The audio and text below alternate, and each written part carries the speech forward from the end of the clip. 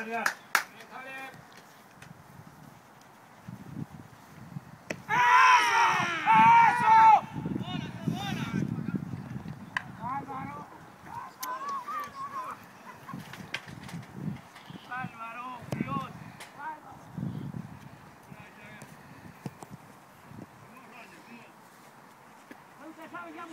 go, team. Be proactive up there, huh?